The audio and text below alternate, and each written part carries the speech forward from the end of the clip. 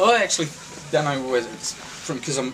Oh, I can't even bloody do it now. I'm forever holding a polisher, Yeah, a barrel polisher, so I'm forever, you know, yeah. swinging. But I cannot. Oh shit! I cannot physically straighten it. It's just locked. It's locked. Jeez, it's just clagged, isn't it? Yeah.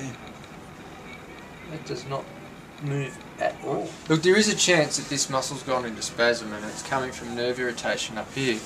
But just the way that joint feels, it's most likely something's actually locked. We'll get a picture of it Mhm. and we'll have a look and see what we're dealing with. Yeah, yeah. Come in here, mate. Okay.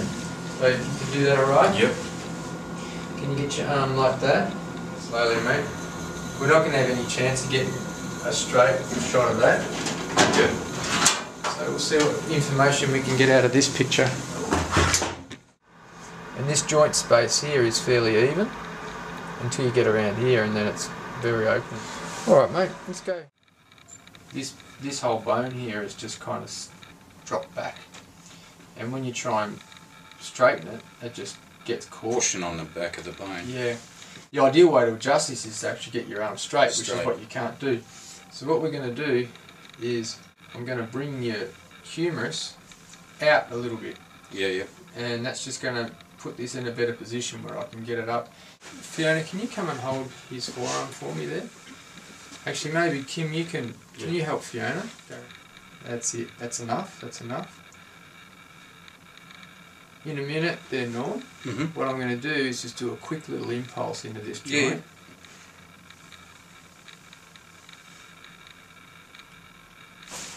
Good. Hold it there, boys and girls. And what I'm going to do now is shove my thumb in here brace it, and then we're going to open it up. So slowly open it up. There you go, mate. Look at that.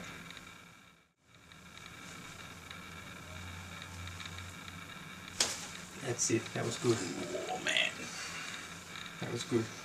Okay, now just slowly open it up a bit more. At least we've unhooked it. This bicep tendon's gone into spasm. oh holy snap! That shit. Oh, I'm ready to dance. Let's just back that flexion off a little. Yep. That whole bicep's just gone into spasm. It's just really guarding. Just got to get some pressure off this tendon. Okay, it's starting to back off now. It actually feels like it's actually just Letting go. almost yeah. So come and grab this arm again. Just want you to kind of traction it down a little. That's it. Oh shit. She's tough, isn't she? Yeah. And just supinate it a touch, like five degrees. That's it. Just let it go a little bit, mate. That's it. Oh Jesus Christ! Felt that. Just need to get this tissue to back off a little bit. 'Cause once we get that to back off,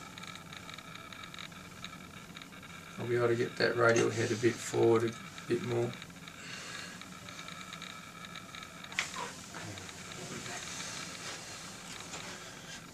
Alright mate. And relax. And you just move it now as it's comfortable. That's heaps better. Oh shit yeah. Yeah. The fact that you can now move it, Yeah. that's chalk and cheese to when you Oh first. shit yeah. Just move it like this, move it like that, like get your wrist Yeah. as much as you can. And get a bit of ice on here. Yep. And when you rest it, rest it in its longest position. Yeah yeah. Don't rest it up like that because it'll go. See, I think that.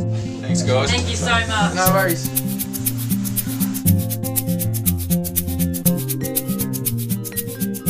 But just show me what you can do now. Yeah, that's great.